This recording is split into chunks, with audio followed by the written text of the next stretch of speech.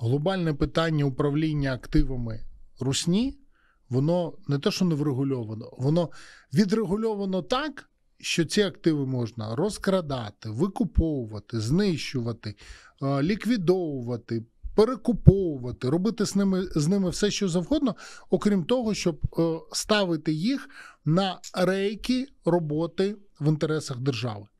Що, в принципі, і мала б робити Арма. Але Арма цього не робить. Вона побудувала всередині е, себе такий. Певні, певні ланцюжки, певні варіанти того, е, що з цими активами можна робити. От, до прикладу, яхта Медведчука, як виявилось, вона досі стоїть в Хорватії пришвартована. Спливають терміни того, щоб ми могли її е, забрати і продати на аукціоні і отримати гроші в бюджет. І Арма досі нічого не зробила з того, що потрібно було зробити.